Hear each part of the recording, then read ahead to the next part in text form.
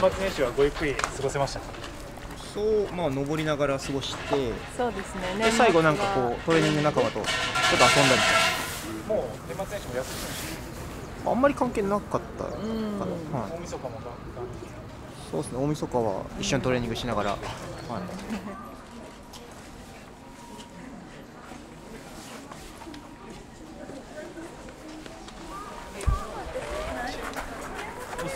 これ来てるよ。すごい。うおーすごい。えっとまず1番ナンバー1が嬉しいですね。宣言通り。願い事望みのままになります、しかし油断してはいけません。嬉しい。演技演技演技1番の人さんがこっちにいますつらいつらい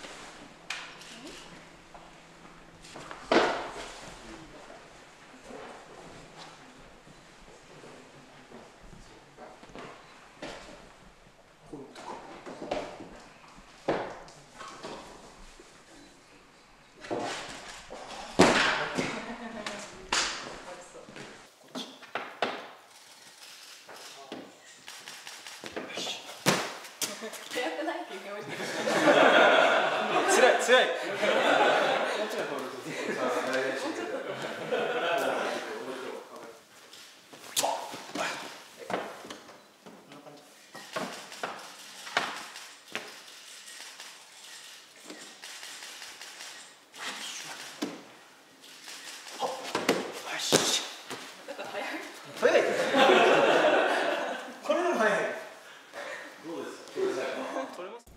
そうですね、本当にいよいよその大事な年がやってきたなということで、まあ、より一層気合が入りますし、まあ、この後のそのトレーニングも楽しみだなという感じです。2023年の時はまだあのオリンピックがあのちょっと先かなっていう印象だったんですけど、まあ、年をが明けてもういよいよ今年だなって感じてます。大体冬のトレーニングは上り込みであったりとかリードだったら持久力のアップという基礎的な部分をたくさんやって今までは来たんですけど今年はもうそこで少しだけ力を上げたところで、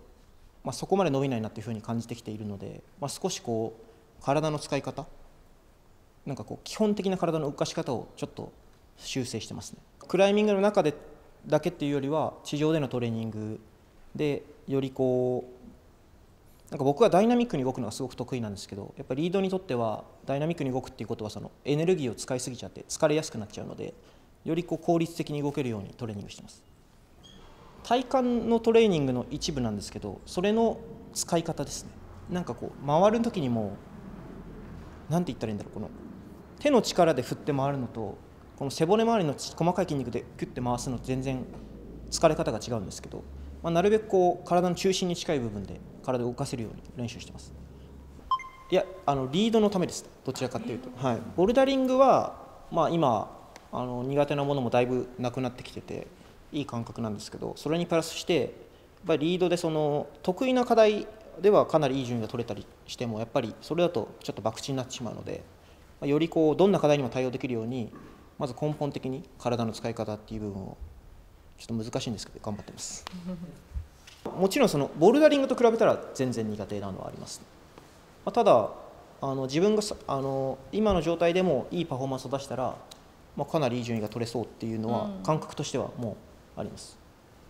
まあ、子供ができて夜がすごく早くなったんですけどでも夜泣きもせずあの日中もずっと、はい、遊んでてくれるので比較的、はい、助かってます、うん。子供も結構あの大きくなってきてずっと抱っこしてると本当にあの体とか腕が疲れちゃって、まあ、あとはもうトレーニングになんか支障をきたすようになってきたのでなるべく負担をかけないように、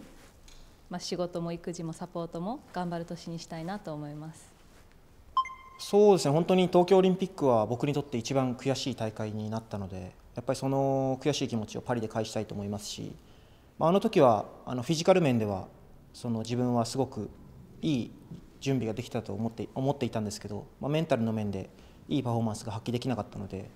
まあ、今年はそ気持ちの面もしっかりとこうワールドカップであったりとか、まあ、ジャパンカップで調整していかなきゃなと思ってます。東京オリンピックの時はやっぱりお互い選手ということで、あのあまりもう自分のことで結構いっぱいいっぱいだったんですけど、まあ、今回あのトマにとって2回目のオリンピックで、まあ、東京の時よりもすごく落ち着いてるなっていう印象でもありますし本当にやっぱり、まあ、東京の、まあ、屈辱を今年晴らす、まあ、笑顔で終わってほしいなと思います。そうですねもちろん金メダルを目指して今トレーニングをしてますその正直フォーマット的には東京オリンピックの方が自分は金メダルを狙いやすい位置にはいたんですけどやっぱり逆にこうあの時よりもチャレンジャーとしての気持ちが強いので今本当にトレーニングがすごく楽しいですねいやもう本当にあの僕たち、まあ、クライミングの選手は今はオリンピックっていうのが一番の目標でやってる選手が多いのでもうパリオリンピックの金メダルが一番の目標です。